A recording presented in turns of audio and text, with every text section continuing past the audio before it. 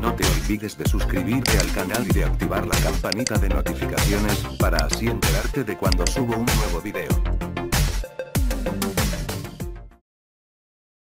Hola amigos, soy Globosio. Existen diferentes tipos de arqueros en el fútbol, unos son buenos, otros son regulares, y otros son muy malos. Cada uno de ellos tiene una responsabilidad muy grande, y es defender el arco de su equipo de los ataques de los rivales.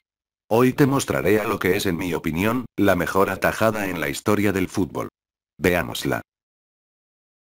Esta atajada sucedió en el Sudamericano Sub-20 realizado en Argentina en el año 2013. Uruguay y Perú empatarían 3 a 3 en el Bicentenario de San Juan, sin embargo, los uruguayos pudieron haber liquidado el partido a no ser de esta atajada.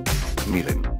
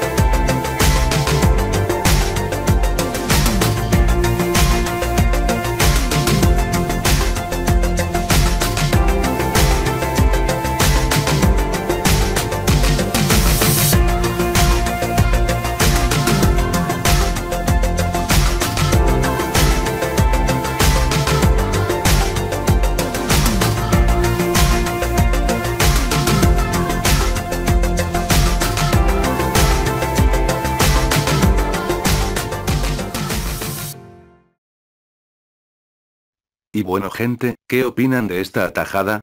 Espero les haya gustado.